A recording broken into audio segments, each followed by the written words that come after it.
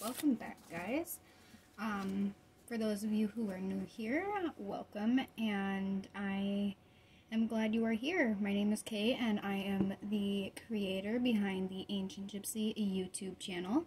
What I do here is I talk a lot about spirituality, manifestation, um, self-improvement, and self-mastery. So if that sounds like anything that you're interested in, go ahead and um, stick around for the rest of this video and maybe check out the channel, consider subscribing, hitting the bell, all that good stuff. Um, for those of you who are loyal watchers and followers, welcome back. Uh, thank you to my 53 subscribers. I think we've made it up to 53. So thank you to all the 53 subscribers. Thank you to all the loyal watchers, followers, people who like the video, comment, share, all of you. I appreciate you all so much. Um, today's video, I'm going to be sharing with you guys books I am currently reading. So this book is The Cave and the Light. It's a philosophy book. It's Plato versus, or Plato versus Aristotle, and the struggle for the soul. And it's uh, Western Civilization. It's by Arthur Herman um, it's a pretty thick book. I haven't actually been able to start it yet, but I'm going to be able to soon, most likely. And I'm really, really excited. I'm interested in philosophy. I think it's, um, I think it's really interesting. And I also think learning about philosophers is important if you want to be educated and cultured. The next book I have is Essential of Reiki I cannot say the author's name. I think it's Mikio Yusu, maybe? I don't know. But um, this is like a, a beginner's book to Reiki, and I want to get certified in Reiki. I want to learn how to do Reiki and, you know, become a Reiki master myself.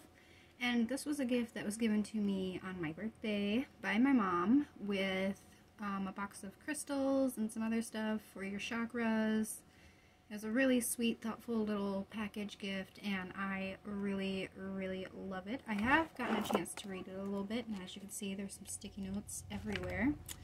Um, and a lot of it's really confusing, but I'm sure I'll understand it eventually. And then the third book I actually bought myself. It's Tarot for Beginners. Um, it's the Rider Deck book, and the reason I got this is because I just want to become as educated as possible. And I use this in the mornings, like when I do my three card spread that I, I um, do a three card spread that I do for myself um, as a way to practice divination. And that's when I use this book. That's when it's most helpful for me to use this book. Give you a little flip through.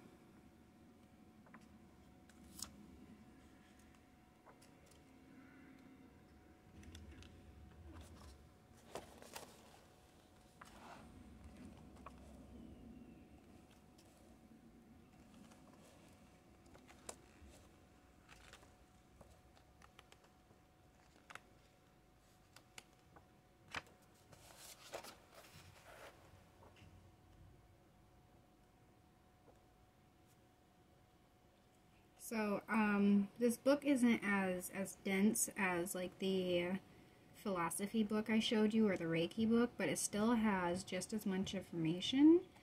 Um, and that's why I found using it in my morning spreads is a little bit more helpful rather than just trying to write down all this information and learn all this information at once and hopefully memorizing it. I want to actually really learn what this book has to offer. So that's why I'm taking so much time with it.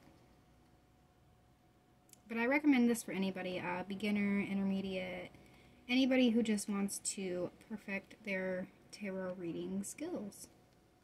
Of course, if you have a different deck than the Rider deck, you can always um, get the book specific for your deck. Um, but this is the deck I have. So those are the books I'm reading right now, guys. Um, I'm working on another video for you.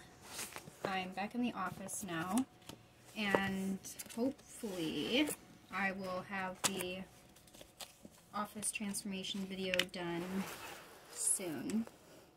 Um, but until then, I hope you enjoyed this video. I hope it inspired you to, uh, I don't know, branch out, learn something new, maybe hit your own reading list, finish your own reading list. Because if you have a reading list, you should be trying to work on it. And reading is just, it's, it's good for you. It's, um, yeah, leaves you educated and cultured and, and all that stuff. So yeah. Until next time, love yourself and your world.